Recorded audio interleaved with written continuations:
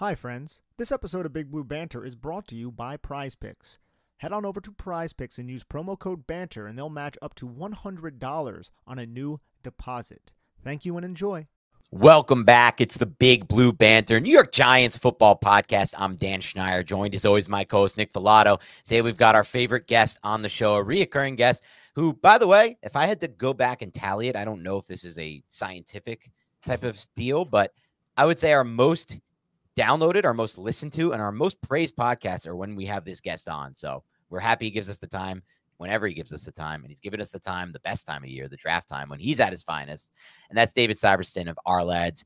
David, how you doing, Dave? I just call you Cy. I never call you Dave or David. Call so me Cy. Call you Cy. Yeah. You know what? I'm more comfortable when you call me Cy. That's like my, what there my hometown go. friends call me. So exactly, and that's how I first came into you. Came into knowing you on BBI from mm. from all the work you do over there. And this is when I was like 14 years old following the Giants. So yeah. we're so glad to have you back on. The first thing I want to ask you is how are you doing during this draft season? I know it's a grind. So are you, are you still with us here?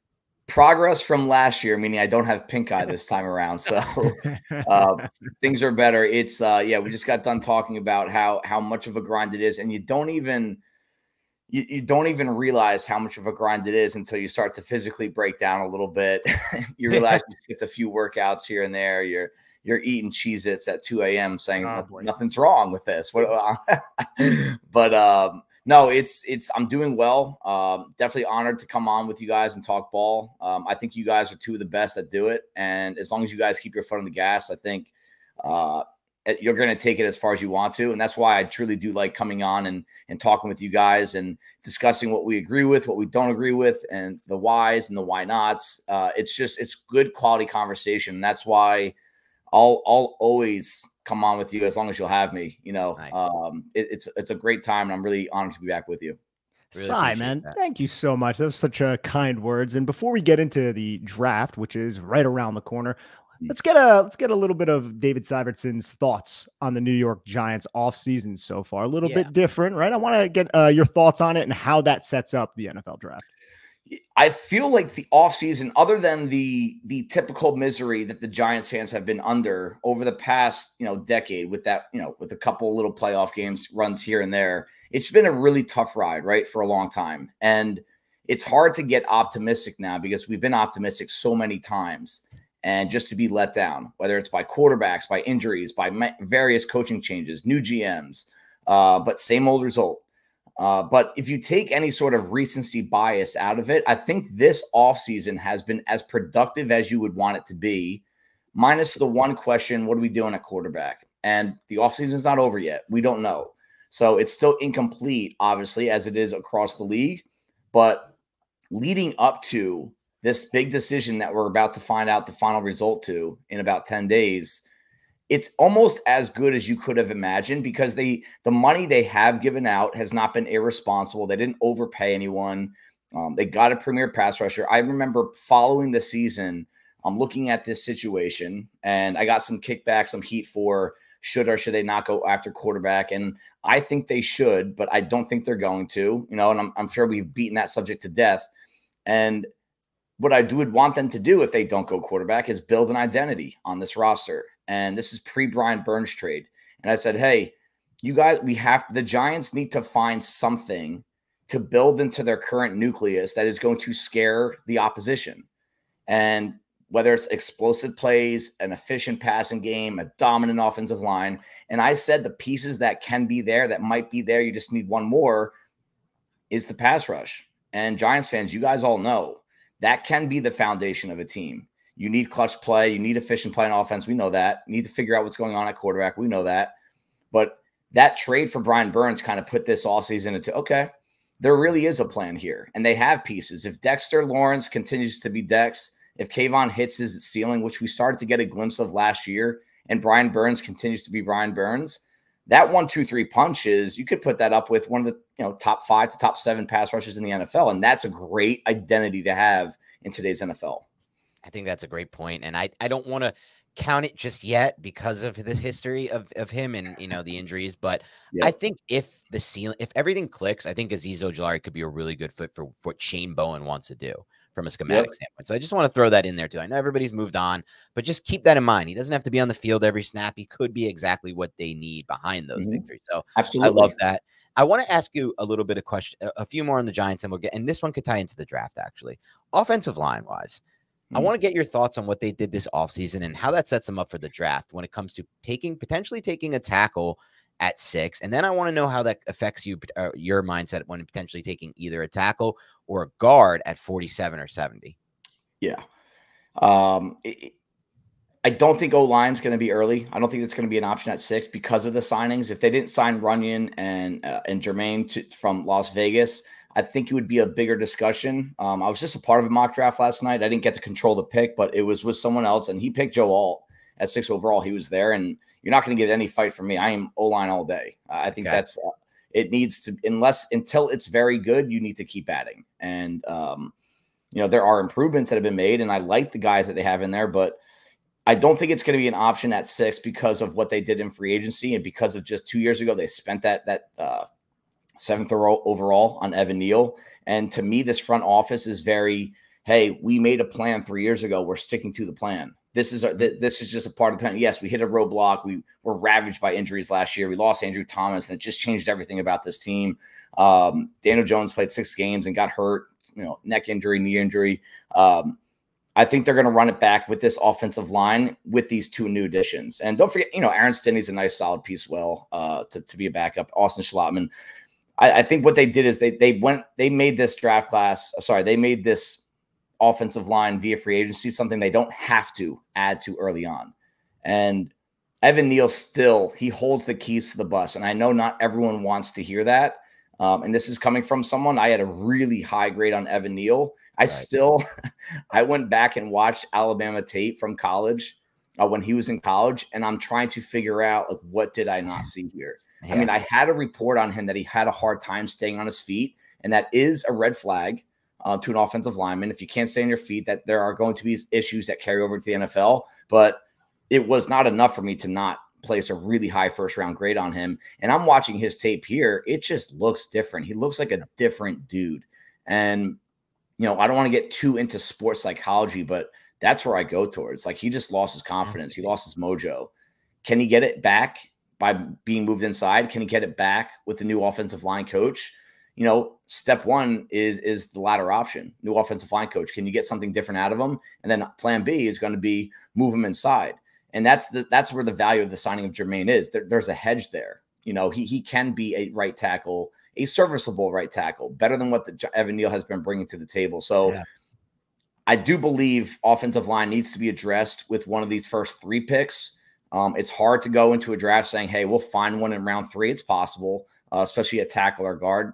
Um, but I wouldn't force it because, say this every year with you guys, there's a lot of holes on this roster. Yeah, so staying with the New York Giants current roster, they're completely changing the way they're going to run the football in the sense that there's no more Saquon Barkley. Saquon Barkley is now in Philadelphia. Now you have Devin Singletary, Eric Gray, Gary Brightwell. Do you think Joe Schoen prioritizes running back at all in this draft, or do you think it might be a UDFA day three type of pick? What, what what's your opinion on the running back situation heading into the draft?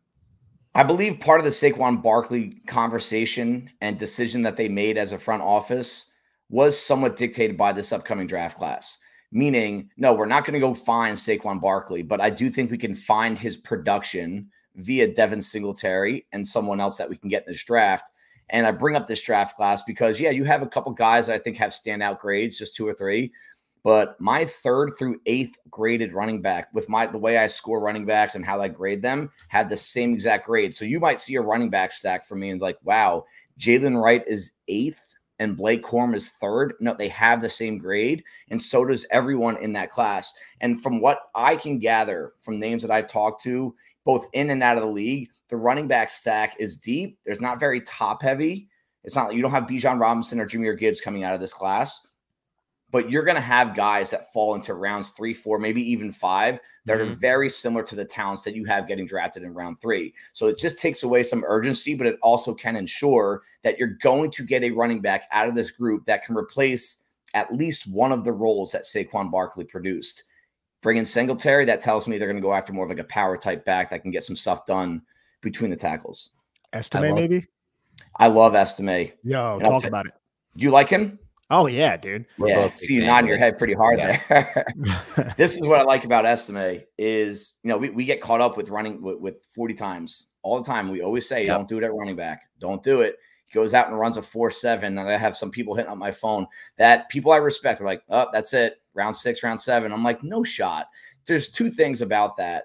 Um, that I was I was I was confused by the 40 time. A his 10 yard split matched everyone that ran in the four fives. Right. There's there, there's plenty of tape on him running away from defensive backs in space, like not just a player too. Like it, it's all over his tape. Um, and then he went back to his senior bowl and he ran a four six. So that that to me isn't the issue. But you're dra- you're drafting Estime because of what he can do after contact, what he can do to just you know drive defenders backwards, displace guys that are trying to tackle him. Um, better footwork than you would think for a big guy like that. Um, I would even say a shortcoming of Saquon Barkley's game has always been like that tough third and one, goal line carry, break tackles. You know, I, I hate to call a grown man uh, lack or say a grown man lacks toughness that could, you know, wrap me into a pretzel and, and throw me down the street if he wanted to. But that was one thing about Saquon's game that I felt like he lacked, lacked some of that grit. And you get a running back like Estime in there, you know at very least he's going to provide that that Saquon didn't. So this is the money ball approach, right? You lose Jason Giambi off the A's, you're not going to get Jason Giambi, but you're going to try to replace the production that he you know pieced together through different players. And that might honestly in today's NFL that does seem to be the best way to build a backfield. Yeah, and we were talking about Audric Estime, the running back of Notre Dame. I know people have commented, and it is a good thing to always kind of bring back up the names and the schools. And we're going to get into specific players at some point, but I do want to talk more 30,000 foot view stuff with you first. Yeah. So I want to, we'll circle back to running backs and O line for sure, because we're going to get there and we're going to need to hear about that. Um, but I want to say one thing about what you just mentioned on running back before I ask a different question, which is, you know, I love what you said about kind of like the money ball approach to this, which and I think ultimately you're on the same page as us, Cy. But would you agree that the best way to build a running game is really through the offensive line? Yeah, and this is coming from someone that wanted Saquon Barkley in 2018. I'll go on record saying I was I was one of those guys. Didn't want Darnold, didn't want Bradley Chubb. Quenton Nelson would have been a nice consolation, um, but I loved I loved the the fantasy of Saquon Barkley, and that was as Eli Manning's career was coming down to an end, and I just envisioned it being something that could really elevate Eli for another few years, and I was wrong. It shouldn't have been the pick back then, and I have changed my my approach to running back position, as has the league, with with just economic spending, resource spending. You really can go up and down the league and, and not have to use a premium pick. With that said I think eight of the nine top rushers in the NFL last year were first, second, or third round picks. And I, I do think you need to find talent there. And waiting till day three, you know, you're not always going to find Raheem Mostert back there, you know, or Elijah Mitchell for that one year he started to flash. It's you still need a talented guy back there. But to answer your question, you don't go there until you build the offensive line. It has to be offensive line first. And if it's not, it's just not the way the game works. So right. unless you really have your six, seven deep on the offensive line, that always has to take priority over running back. If you look at the Falcons and the Lions, they both took running backs high last year in the first round. And it's kind of like, oh, is the pendulum swinging back that way? Perhaps. But at the same time, they also have foundational pieces on both of their offensive lines. Great. Those point. guys have been building the offensive line for years. For years. And and and they they've been hitting doubles and triples with, with day three picks. Correct. So, you know, when's the last time the Giants have done that? You know, you you do. I hate to see. I don't want to use the term luck. That's part of what this is, but you know, you, you are going to have to go the Eagles route and just put first round and second round picks for a decade to, to, really to find the, the true the the answer at offensive line. Or you're going to have to find those doubles and triples. You know, guys. When I say that, I mean guys that far outplay their their perceived uh, projection draft weekend. Like you get a fourth, fifth rounder that can really get it done.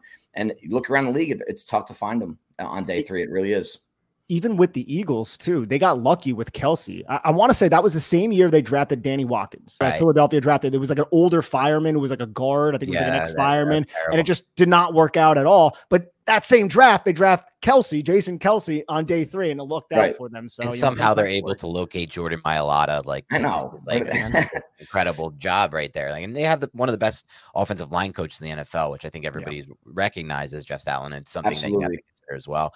But I think a couple more things on that that I just want to say uh, that I that I missed earlier. Audric Estime, I think I'm like we all love you. It's clear we all love him, but I think he's a value because people are looking at that 40 time, but what they're not recognizing is that it doesn't really it doesn't really describe his whole profile. You talked about the 10 yard split, but he's also a really explosive athlete. He had a 38 inch vertical and a yeah. 10 5 broad. And yeah. at 5 5 11, 221, like that's my ideal build for running yep. back. I don't want you over six foot, but I also want you in that 220 range. So he's someone we'll talk about more late, a little bit later. But I want to transition a bit to the cornerback position. This is the most interesting one for me. Now, if it was still Wink Martindale running the defense, I'm pretty sure this would be another top priority for the Giants. Wink Martindale's gone on record saying my most important position is corner. I'm not so sure that's the case with Shane Bowen. Yet the Giants depth chart suggests it's a massive need. I had issues with corner Cy because from my this is more 30,000 foot view. From my perspective, it's one of, if not the toughest positions to hit on in the NFL because it's just so hard to play it at the NFL yep. level. You're back, you, just how it works. You're backpedaling and they're coming at you. It's a real, you're at a disadvantage every single snap. So I think we see a lot of busts in the late one, early two range. And these are guys that going into the process, we're all like, yeah, he's got this and this and this. We like him. It's a value pick. And they end up seeing in there and they just don't really make it in the NFL in this class at around pick 47 are there any guys that stand out to you as could be, should be great values that the Giants should be looking to target there. Yeah, I, I agree with everything you said there. Really tough position to project, hit on. It's my, it's always been my most difficult position to scout. Uh, and part of it is just the, the time it takes to, to really scout a cornerback is almost as much as a quarterback because mm-hmm. you can watch 20, 30 minutes of film and get one or two plays that really can give you something of substance to add to the scouting report you know they can get not they not get thrown to. Uh, no one can run their way. The routes they're not off the line. It's just it's a really tough spot. And then, like you said, what scheme are they being put into? What are they asked to do in the NFL? It might be completely different. I mean, Quinyon Mitchell is my number one corner, but he was rarely up in press coverage in college. Like that's right. that's a big deal to me. That's that's a question that you're going to have to roll the dice on. Uh, but to answer the question about that second round pick, you know, I think one of the first questions I'd rather ask you back is sure. are you looking for a nickel or are you looking for an outside guy? Because yeah. I think they need both. The personnel tells me right now they probably could get by at nickel and you could find a safety nickel. But what do you think they need more? Uh, do you think they need someone inside or on the outside? It's a great question. It's one that was asked of us in our mailbag episode last last podcast. And I think the way me and Nick answered it was, you know, we're just going to take the best corner available. We we're not worried too much about that. We just need a corner. Yeah. I will say this though, I oddly feel a little bit more confident on the outside. This is just a player that Nick and I have loved on tape. He's been it's been over a very small sample size, so we don't want to get too excited. But I oddly feel a little bit more confident with Nick McCloud on the outside. Yeah. I feel like, I like somehow, some way, he's just had good tape with the Giants. He doesn't get a lot of snaps with Wink, but he had good tape. And then in the and on the verse verse on the vice versa on the inside. I'm projecting maybe flat there, but I don't know if I feel that confident with that right now. He just needs to be stronger. You can't right. have a like, nickel who can't play the run. That's I mean, exactly that how I feel about it. As a, a player I love in this class is Cooper DeJean, and I think ultimately the NFL won't overcorrect on it and he will be a first round pick, but I think it's possible that he falls just because he has that tweener label and people might be like, oh, I don't know if I can trust him on the outside. But if you put him on the inside as your nickel, I think he does everything I want. Like he could play the run, he attacks downhill as a blitzer. Like he just looks like a playmaker to me. So I guess for me, the answer would be if I could, because there are sometimes those guys that fall that range. I, I, remember a guy I loved either two or three draft classes ago, Jalen Pitre from Baylor. Yep. Like yep. he, if he, like I think he can fall to that round two range. If somebody like that's available, I prioritize that over an outside corner personally. Yeah, I would too. I think there's more you can do with them, um, and even on to build off DeJean, he's also a returner, and return yep. game is going to be a bigger part of the game now with, with the new rules. So that does like I did. I boosted a couple got you know I, I it, this helped me break a few ties uh, when you know I'm combining positions together for an actual big board is that they added value to the return game because it's different now. Um, so if you want someone inside, my number one corner that I would target in round two is, and the re- one of the reasons why I asked you was that I think this guy can do both. So kind of, okay. kind of again get the best player and figure it out is Max Melton from Rutgers. I knew you were going to say that, man. Yeah, yeah, nice. We've been talking about Max Melton yeah. for a while on the podcast. Just Good. just a freak athlete. Like when I'm, he was the first first player I wrote an evaluation on, Cy. And nice. I was like, bro, is everybody in this draft class like this? Because like his click and close when he when he sees yep. it, because he has really yep. good zone eyes. When he sees it, he's immediate, right at the catch point, really harassing. Just has a lot of refinement that needs to kind of be ironed out. But please talk about Max Melton. for multiple years he's done that. Uh, like the click and close clothesline. I you you uh you've always liked to like that's what you've always looked for, and I think in a lot of situations you've been right about corners for that reason. And that's something, I mean, it's hard to project guys to the college to the NFL. It just is. You know, you're, you're doing your best to make an educated guess. And that's something that carries over to the next level. Like that's something you have to, you almost have to have if you're going to be considered a top 45 pick. And I think Melton's going to, Melton's going to wind up in my top 40 overall. And do I think he falls down there? It's tough. I mean, this cornerback group, after like the top three, four guys, it's it's like almost like the running backs. It's just a mixed match of 10 guys that have very similar grades, but very similar different skill sets. Um, I think the, the the length and the height has gotten a little overblown. It's almost like some teams are just going overkill on that, and they're they're just overlooking these really quality corners like a Max Melton type. And I mean, yep. he's not small, but he's not one of the bigger guys in this class. Really physical dude really instinctive. He's got receiver caliber ball skills, and I think the Giants have to continue and try to find ways to change the game via turnovers. And who knows what the new defensive scheme? They, they seem more safe than aggressive, uh, which is a complete antonym of, of what we've watched Wink Martindale do. Uh, I'm excited for it. Um, Wink, Wink really, I got excited about him, and I quickly, you know, towards the tail end of last year, it was just a little too Jekyll and Hyde for me. Um, where I would like to have a little bit more security and we know what we're getting week in, week out, but you need the right personnel for that. And I think that's part of the reason why Wink played the way he did. Uh, but Max Melton to me is a guy that just athletically is ready for the NFL day one. The instincts show up on play uh, on tape, as do the the ball skills to the point where I think he could be a big time playmaker at the next level. And part of the reason why I do like him for the Giants more so than other teams is he can play inside out because I don't think they know what they're doing at corner yet. And you get a guy in here let him play and just see where he's more comfortable. Then you can almost build around him a little bit the 30,000 foot viewpoint, which is I do kind of agree with you that NFL teams, you can find these like quote unquote outliers that end up being massive values because they're like, and some NFL teams like, if you don't have this arm length at corner, you're not on my board. You can't fit my system. You can't play for me. But you know, sometimes you over like there's been guys like Asante Samuel. I watched him on tape and I was like, how the hell is this dude not a first round pick? He falls to round two and he's one of the best corners immediately in the NFL.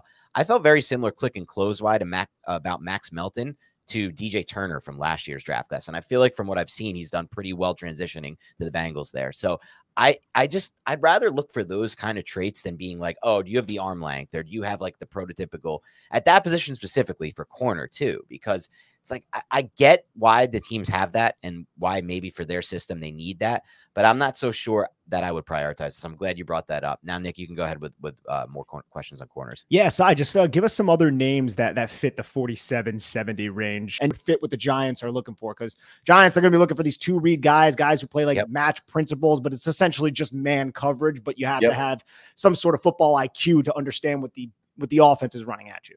I do. I agree that they're going to have to have some sort of intelligence, decision making, and just to build off, in, build into those names and build off what you guys just said. The if someone's greatest trait is their size, right, and even in some cases speed, I'm wondering if they don't have the feel for the game. And the, the, to me, the NFL is becoming more about these short dump off passes, get the ball out quick, get the ball out quick if you don't have the feel, I, I, actually want, I would rather have someone smaller and quicker and faster reaction because, you know, those guys have an easier time making plays on the ball uh, on these short to intermediate routes. And there's nothing worse than having a good defense, but the pass rush can't get there because they're getting rid of the ball and they're getting rid of the ball because the corners can't make decisions quick enough or physically react quick enough. And those guys that you just named, uh, the, best ball reactor is Andru Phillips from Kentucky. Again, undersized um, he was a guy that I wasn't even paying attention in the fall. And I was watching film on Florida, I believe it was Florida Kentucky game, the game that Ray Davis went off on, and he's he immediately just jumped off the screen to me, and I didn't know who he was at the time. And that's some one of my favorite parts about scouting. Sometimes is like you're not looking for a guy, but the guy finds you, you know, and just the way he moves, um, his back pedal, his transitions, um, his ability to get his hands on the ball without committing penalties. Um, again, not a very big guy, so I think it's going to hurt. I mean, it did. It hurt his grade a little bit, but I still have day two there. Um, round two is definitely where I think he's going to start becoming a discussion. Um, I have him as my number 12 corner, and there are that many guys um, in the in the top two rounds in this class uh, that you know it, it, I, like a couple of other guys more. There's one name that I like more than others, two of them actually. Uh, Kris Abrams Draine from Missouri, who I actually have him above Rakestraw because, again, exactly what we just said the feel, uh, the instincts, the intelligence, former quarterback. Um, has experience on both sides of the ball. And a name that I had in my preseason 32, um, and he just he was never there in the public spotlight, but he had a great workout I thought he had a really good season. Is Nehemiah Pritchett from Auburn? Mm-hmm. Um, now, a lot of guys have DJ James, the, his teammate from Auburn, but the size is off the charts bad with him. Pritchett ran a sub 4 4, really good ball skills. I thought, you know, some of the tape that this one thing I look for, again, with limited time, can't watch every tape from every single player unless we're talking quarterback. How do these guys perform against their best competition? And then the SEC, you know, you don't need to look far to, to find that film. And I thought Pritchett played really well against his best competition. I love it. So I want to ask you about one specific player who I, I like a lot in this draft class and who somebody I've started to look into and, and think could be a potential good fit for the Giants. And I don't exactly know how to pronounce his name, but it's Mike Sainristil, the corner out of, out of Michigan. So I just look at this profile I just really like. I know he's also undersized, and I was just looking it up. He's even shorter than he was projected to be. I think he was just five nine, a little like five nine and a half, 182. So maybe it is more in the mold of what we discussed before, like the, the future nickel, but former receiver, and I feel like you could see those ball skills at the catch point. I think he's physical. He's obviously not big, but I think he's really physical at the, at the catch point as well. And coming from that system to a Michigan, I know he's a little advanced age too. He's he's almost 24. So there's some red flags from that standpoint, maybe projection wise, uh, as far as just what teams look for, younger guys, bigger. But man, I watch him play and I'm like, coming from that Michigan system, I could totally see him as an awesome fit for the Giants in their new system. Absolutely. I didn't bring him up earlier because I think he might be you know, I, I, I, he might be gone by the time okay. of second round pick. And I even I, get asked or I create a list uh, for Ourlads, five guys are going to be surprise first rounders. You know, and not projecting them to the first round, not grading them either, but just guys that based on who are those guys. By the way, I want you to give us those guys. Maybe we'll see. okay, no, no, no, that's not out yet. Oh, oh yeah, it's not out yet. Yeah, oh, no, no, no, no, don't give us anything. I'll, I'll give you yet. one of them. It's okay. Mike Sainristil. I'll give you another one too once we get to that position because I want to okay. get your feedback on it. Don't but one of those guys. I think he might be a first round pick. Okay. Um, not even at five nine one eighty two after the combine. Yeah, and it's it's it's the league loves him. I mean, he's been Terrion Arnold has gotten great feedback as well in this regard, and he didn't have the greatest workout either. He might be a top ten pick. That kid he ran a four five. Right. Um, and ran even slower at his pro day, by the way. Um, but Sainristil, the fact that he's been playing corner for just a couple of years and all of a sudden becomes an all American corner. Right. And that plays inside and outside. He was slot only, and then they moved him outside. They gave him some outside looks this year. He's awesome. Um, my, my issue with him is obviously there is going to be some physical limitation with him on an island against vertical threats. Uh, but again, you talk about IQ, which is a great fit for this scheme. He can make up for some of that and he's quick as lightning. So i think he's he's like a he's one of those running backs that finds his top speed in a real in a hurry which can hide some of the downfield speed issues and he knows what's coming. So it, it's almost it's hard to beat a guy that really understands the game at a high level. And Sainristil, the, the run defense he is aggressive but he is awful at taking proper yeah. angles from that nickel position i actually graded him as a liability against the run he's physical and some corners you know, they couldn't stop a nosebleed. Like they they they don't want to be touched. You know, they say, "Hey, you 10 guys, you go tackle them. I'm going to cover this dude." He's not that guy, but his run defense grade was, was a little rough for him. So those are two issues: lack of length, lack of size, and just poor angles, which could come from the lack of experience. And that's something that maybe could get better at the NFL, but it's tough to get better once you're in the NFL at, at something like that once the league gets faster. So, I mean, yeah, I am all over that dude round two if he's there and that's Mike Sainristil, the corner out of Michigan. Yeah.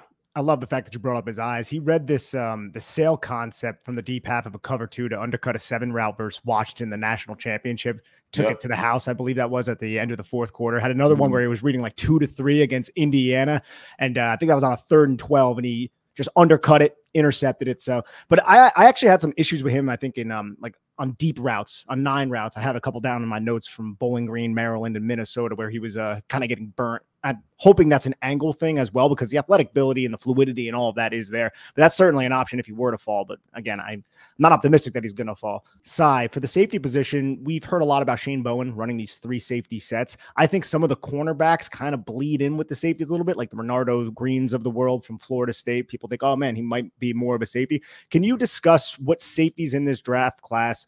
you appreciate on day two for the New York Giants, and who do you think would fit well with Shane Bowen's system? Uh, Javon Bullard from Georgia okay. is a guy that I like a lot. Really twitchy, aggressive, fast, undersized again. You know, that's a theme of a lot of defensive guys that I like in this class. Unfortunately, uh, just don't have the NFL size. But you know, you're a big part of the Georgia defense for multiple years. That that means something to me. If it doesn't matter there, I can't imagine it imagining that mattering that much at the next level. Uh, Cole Bishop from Utah is just a, a great center fielder type. Ran faster than we all thought. Um, I thought that he was the best pure. I was at the Senior Bowl this year, so I got to watch the practice from different angles and you know from the end zone, from up top, and I thought he was the best mover there. Uh, just just fluid, explosive, great feel, always going in the right direction. Um, a name that I just wrote up the other day um, on a second look was was uh, Dadrian Taylor Demers from Texas Tech. That dude, his, his tape is standout, and yes. I think he, he's a weapon. He's a missile coming from the top end, but he's also he's fast enough to play in deep coverage. So those are three names that are all day two guys to me that you know round two might be a little rich and it's hard it's a hard sell for me with all the other holes on the team and the fact that there are going to be players available at those holes that they would use a second on a safety but round three i think it's on i think it's possible um those are those are three names that I really like in that area. And then you know, if I had my preference, if I had to like create my perfect Giants draft, I probably would wait till day three, round four, round five hmm. with some of these guys. And you know, Malik Mustapha from Wake Forest is just a fun dude. You know, he's really physical. Comes from jumped out of the building at, at his uh, as pro day. Um, Jaden Hicks, probably more of a third, second, or third round pick, so we probably shouldn't talk about him um, in this regard.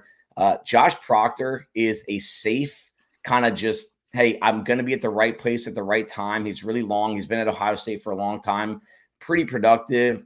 You know, maybe not. The, he's a kind of like a leggy mover, meaning hard for him to change direction. Not the most agile guy, but you know, if you're talking day three safeties, you're not finding a, a year one starter. You're finding a guy. Can you find a role player at, at that point to combine with Jalen Mills, Jason Pinnock? You know, Dane Belton and Gervais, Gervais Owens have the opportunity of a lifetime this year yeah. in the yeah. scheme, three safety looks that, right. you know, part of me thinks that if you enter day three, you haven't picked the safety yet, you roll with those guys because you're not going to get much of an upgrade over what those guys bring to the table. So it, it's a tough call there if you don't go early with safety. All right, Cy, real quick on just the safety position, judging by everybody that you just went through, Pinnock, Dane Belton, Gervais Owens, if you had to add a certain archetype to the safety room, either early day three or late day two, what type of safety do you think would best complement Shane Bowen's system? Great question. Great question.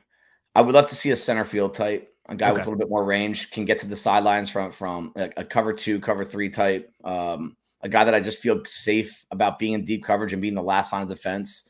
Um, I'm such I'm such a sucker for for big plays. you know, like I, I, want a guy out there. Like when they had Kevin Byard from from Tennessee before they traded him last year, all pro a couple times. Like it was all it wasn't the best safety in the world, but he he made game changing plays on a routine basis. And I would love the Giants to get a guy that you know, it's hard to predict turnovers on a player to player basis, but the skill set of a guy that can, you know, cover a lot of ground and take proper angles to the deep ball on a team that you're right now, you're a little vulnerable at, at least one of the cornerback spots. So, you know, teams are going to be taking shots at you downfield. That's the kind of guy that I would want on the field, uh, even more so than a nickel type or or a run stuffer. Is get someone that has a little bit more range that can make plays uh, in deep coverage.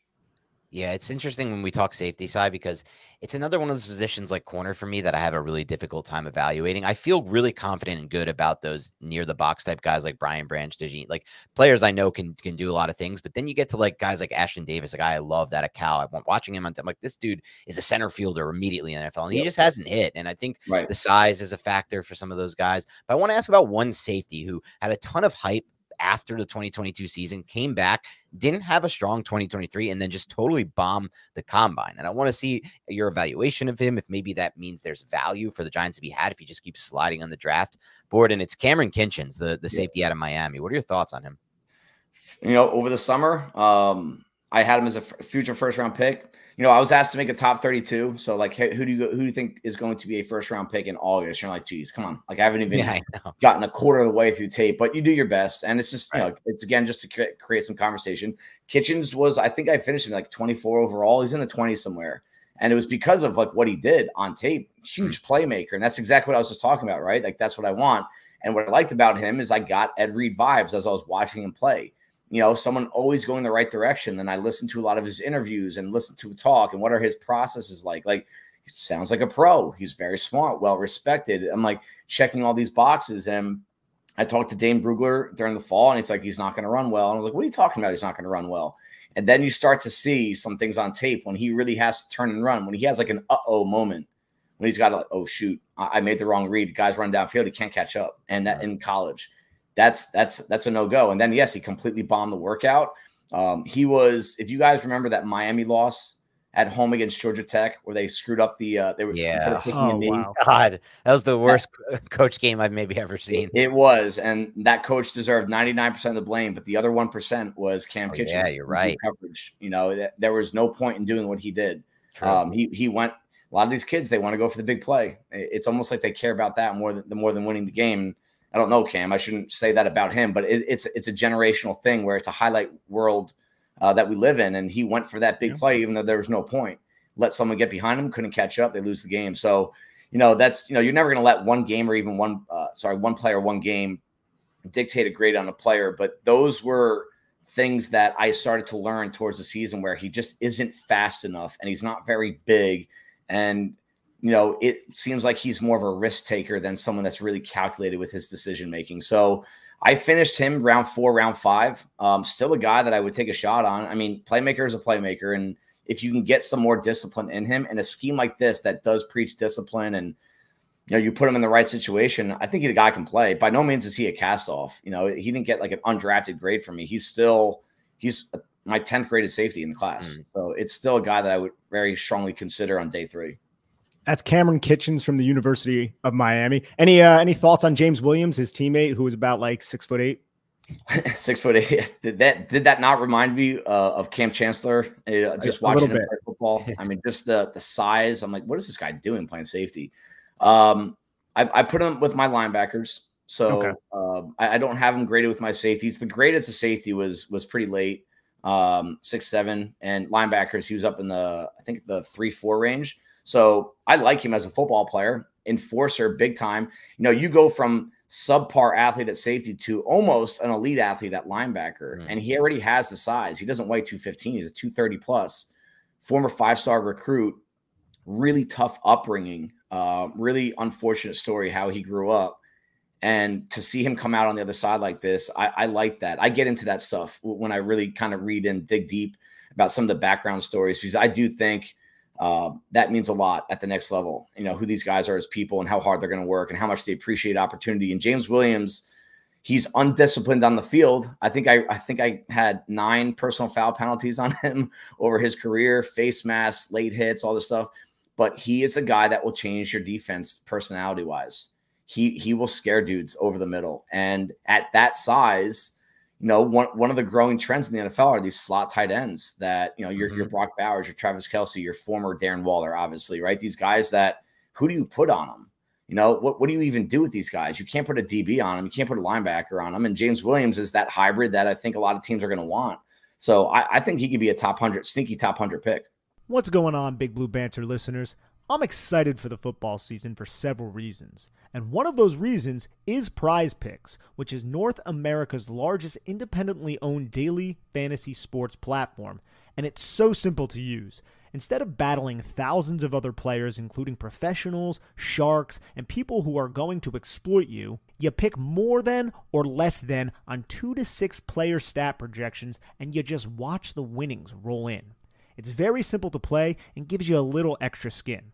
I've set my picks in less than 60 seconds. There are so many stats to choose from, and the withdrawals of funds are easy and quick. Dan and I will be adding a segment to our show before every game where we pick our favorite stats, more or less yards or touchdowns, what have you, and we'll be discussing why from a scheme, matchup, and game theory perspective. I love their promotions and how easy their interface is to operate at PrizePicks. I may select more on tackles for a loss from Bobby Okereke or Kayvon Thibodeaux next game. They also do other sports as well.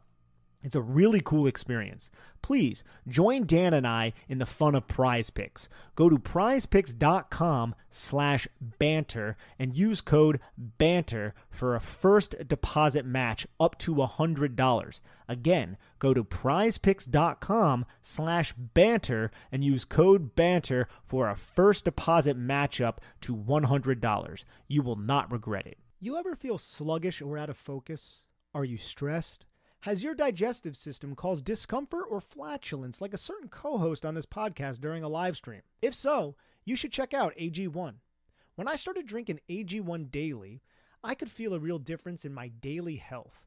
I had more energy, I was better off at the gym, and I could focus on my work in a much more efficient manner.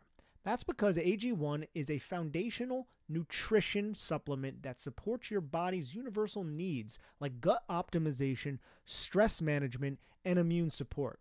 Since 2010, AG1 has led the future of foundational nutrition, continuously refining their formula to create a smarter, better way to elevate your baseline health. Not only did I replace my multivitamin with AG1, but I love that every scoop also includes prebiotics, probiotics, and digestive enzymes for gut support. I recommend AG1 to all my family and friends because AG1 has a team of doctors and scientists that formulate around the latest science and maintains high quality standards within the industry.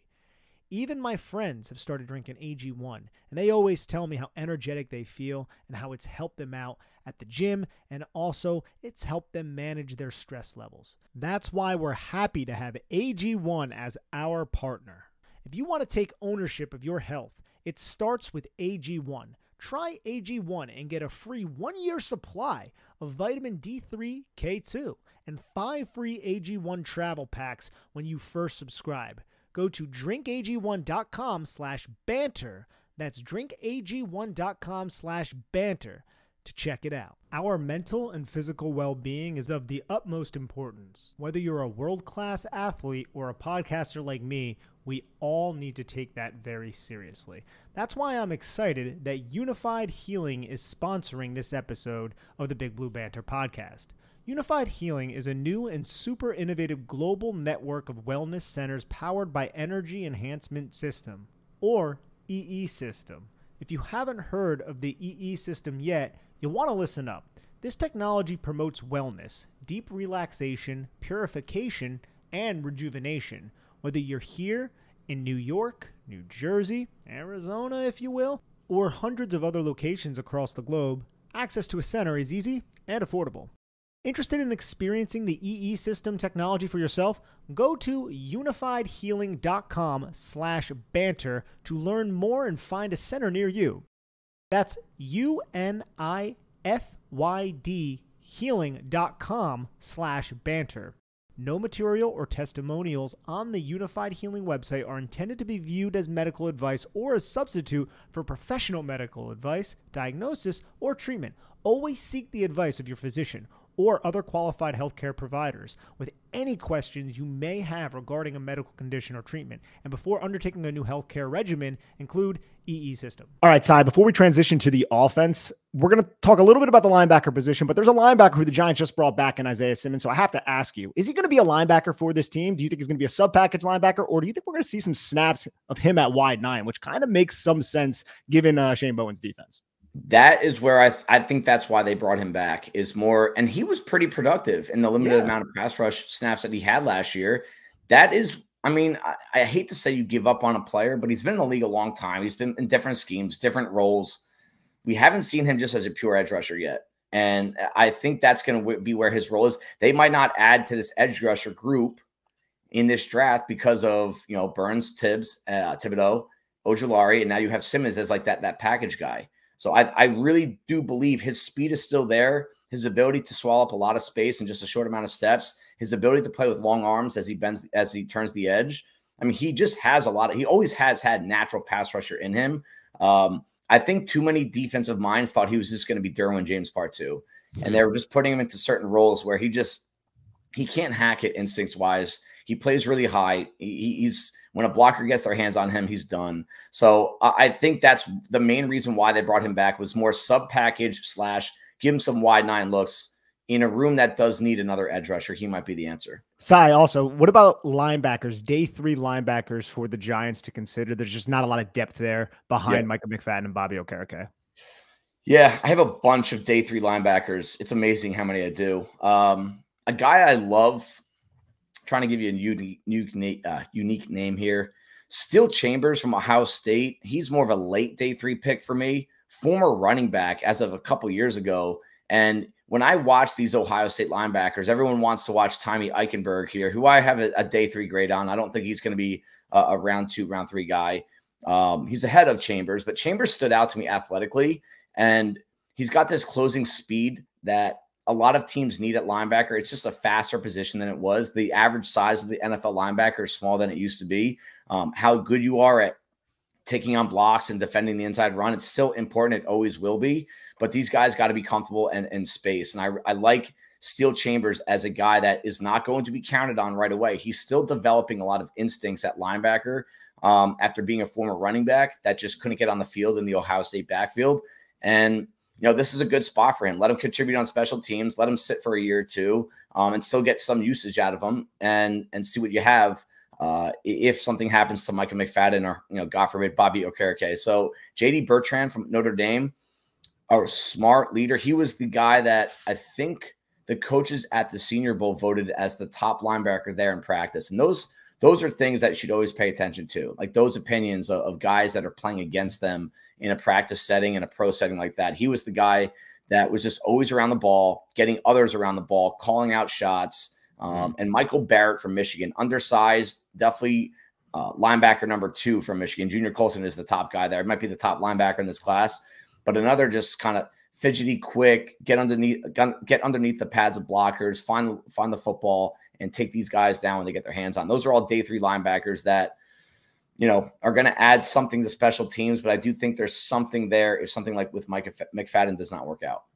Love it, Cy. And before we transition actually to the offense, I want to talk about a position that I think might be a lot higher on the Giants draft board than people realize. And a lot of that has to do with the system they're coming into. Again, we're going to be, it's going to be a change. We're going to be relying a lot more on the front four to get the pressure and then a lot of drop seven. And it's going to be different than what we've seen under Wink Martindale. And that position is interior defensive line. And yeah.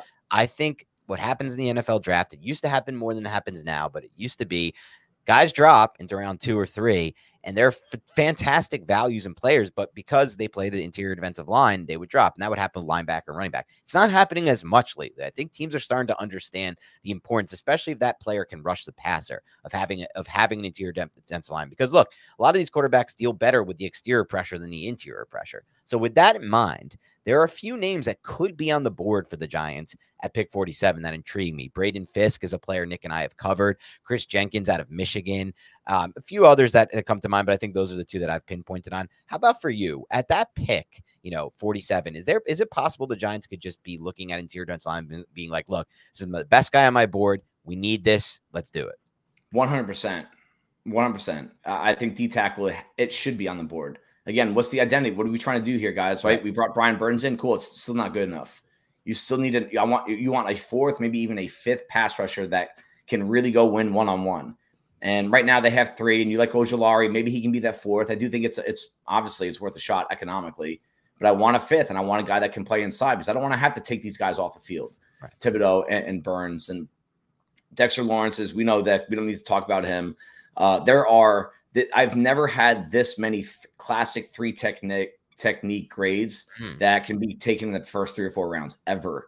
It's almost like I'm just writing the same report after every single guy. Like unbelievably explosive, a little short, but he kind of uses it to advantage because he's he plays with great leverage. He has enough power, short arms, which is a deal breaker for some. Um, and there it's just one after the other. And you have to assume that at some point the Giants are going to be on the clock, and a good value at that position will be there. And it as soon as round two. And I'll give you the number two guy. And this is the last one of who I think might be a surprise first rounder. It's Braden Fiske. Yeah, I, I, think I think he is, and it's it's it's because of the way the game is going right now. Everyone wants these interior pass rushers.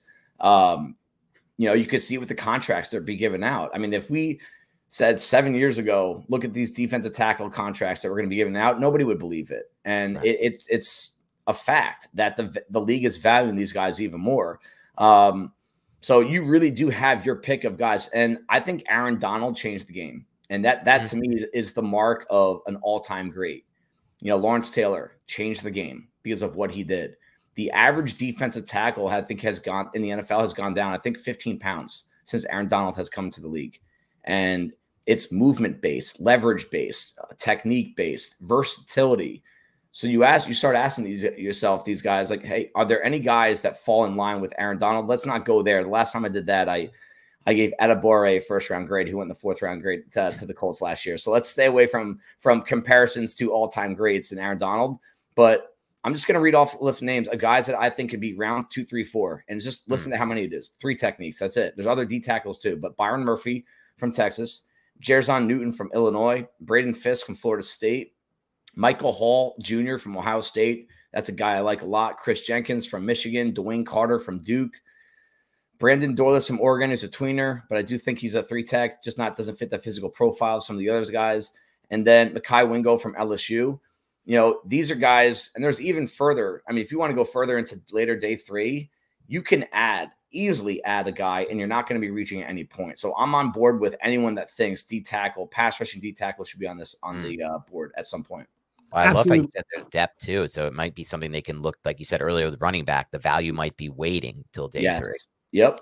Yep. Absolutely. I love that you brought up Mekhi Wingo. That would be like an ideal situation if he were to fall to like the fourth round. When I turned on I turned on Maason Smith's tape and I fell in love with Mekhi Wingo. It was one of yep. those types of situations yep. that we were talking about a little bit before.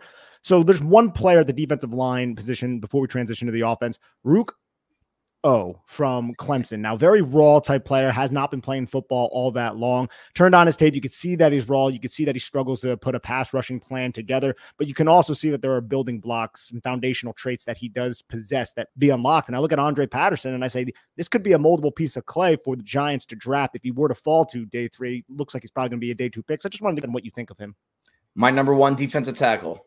And oh, I don't I didn't know that. Yeah, I don't think anyone else has him that high. And my grade on him is more about projection than it is current state. However, with that said, I think he is a Dalvin Tomlinson, no doubt good player. He has a higher ceiling than Dalvin, much better, much better athlete. He he destroyed the combine and in both his workouts, but also um, but also just in drills. Like I time and, and grade the drills at the combine too. And he was DT one there. He was DT one in the in the in the workouts size. I mean, a lot of these guys that I just talked about, they have length issues. Uh, 32 inch arms, 31 inch arms. I think he was measuring at 34 plus. So this is a guy that, yeah, I mean, look at that that chart. Like he is, and and the, the one marker right there is weight. And I feel like to me, the weight is just becoming less and less important uh, with him being being a shortcoming there.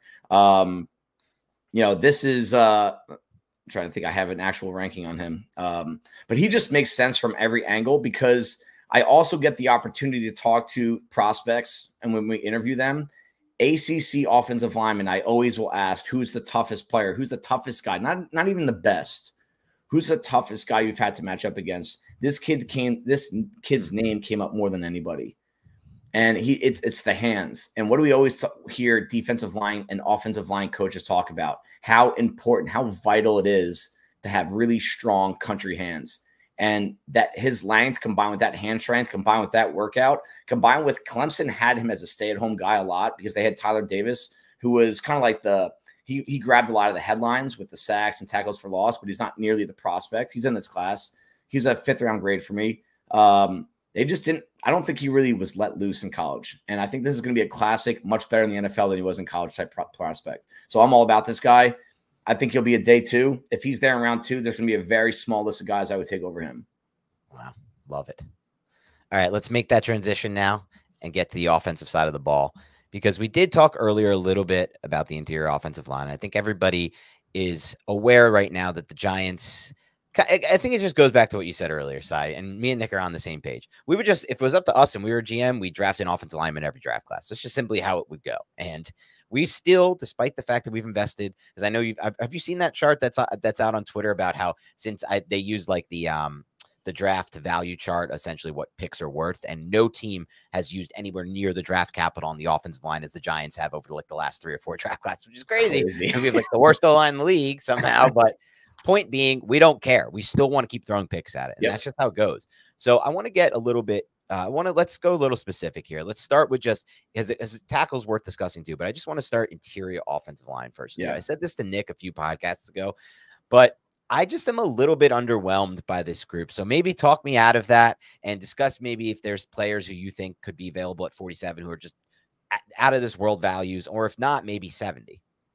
I have two tackles that I put into my guard okay. stack based on where. So that makes if you took those two out, and you know, I'll give those names, and maybe that changes your perception a little bit. But um, if you take those two guys out, it's it's an it's an underwhelming uh, underwhelming underwhelming group. Sorry. Um, that to me, I still would rather have them than what they have in house right now. You okay. know, I, I, think I'm done with Marcus McKethan. Uh, I don't think there's anything there with him. So I think that guy's got to be replaced at some point. Um, but Graham Barton from Duke and Jordan Morgan from Arizona are guys that I graded with my guard stack. They, you know, Barton actually has experience inside. Um, he's on record saying he wants to play tackle. I mean, who doesn't? They get paid more. Um, but the Senior Bowl was going to put him at center and then he had to pull out because of injury. So I think that, and that's that's a league thing. You know, Jim Nagy from the Senior Bowl, like he will do what the, the scouts and the teams want him to do. So it tells me that he's being viewed as a center or guard. Um, so if you, it, I like both those guys in round two if they're there. Um, Jordan Morgan is a guy. I just said that Rook is, you know, is a very small list of guys that I would take over Rook if uh, he was available in round two. Jordan Morgan's on that list. Um, I like him a lot as a guy what I think the Giants would really benefit from doing the offensive line is similar to what they did in free agency is you draft a guy that can project to both spots. It is hard for an offensive lineman to develop two spots at once. So I don't want to get in the way of that. Um, but Jordan Morgan was an outstanding tackle, and he he put himself on the radar in 2022. He got a, uh, a first slash second round grade from the advisory board. However, he tore his ACL late in the year. So he went back to school and he played in 2023 wasn't as good, but I always give a guy, an offensive lineman, a year plus um, after tearing their ACL before I really say, hey, he has it or he doesn't. Those it this takes longer for those guys to recover than a Wan'Dale Robinson who weighs 170 pounds. Of course, he can recover and, and, make plays. Really excited about him, by the way. I think the Giants have something there. Um, but Jordan Morgan, you put him at guard, and if you know at this time next year it's not working for Evan Neal and there's a hole, you at least have an in-house option right away. You don't have to shop hungry, as Joe Schoen likes to say. And there are a couple guys, Graham Barton, Troy Fautanu, who's not going to be there in round two. I thought he would be. Um, you know, there, there are multiple guys that I think can project to both spots. So in instead of me just saying interior or just a tackle, there's a list of guys that I think could be someone that you project both. But Dan, sorry to go off on a tangent there. I do think the guard group is underwhelming, but I do think the center group is really strong. I know. And I think we should open up the door way. to talking about John Michael Schmitz here. Okay. Let's do it. And I, am not sold. I, I, really didn't like what I saw last year. I think he can play. I think he can play, and I'm not going to get. There are a lot of other holes on this team that need to be addressed first, and I don't want him replaced. But I would like to, if I can get one of these centers to come in here and a create a little competition, create a little depth, and also back up multiple spots. I, I might want to swing for that fence in case we know at this time next year John Michael Schmitz is not taking that step up. I don't hate that. Yeah, yeah go ahead. You, you can go. De- oh, okay. No, you go first. I have something to say too, but go ahead. I want right. I want us both to get in here.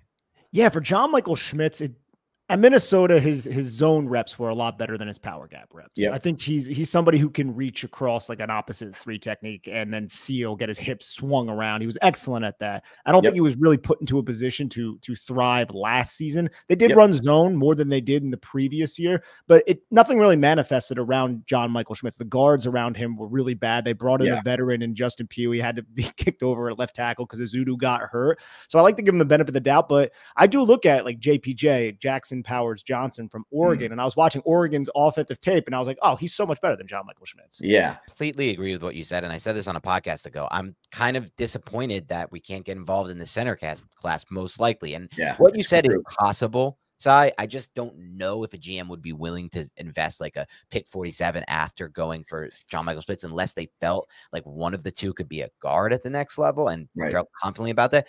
But I went, I had the same thoughts going through the center class. I was really dis I almost just a, a feeling of disappointment comes over me because I think